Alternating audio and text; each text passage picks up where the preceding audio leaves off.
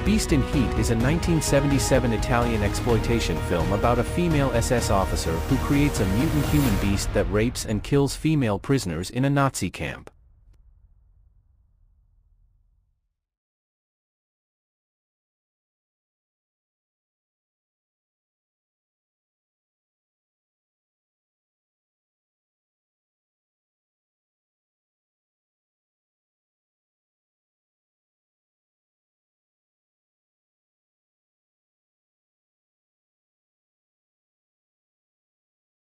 The film is part of the Nazisploitation subgenre and was banned in some countries for its graphic violence and sexual content.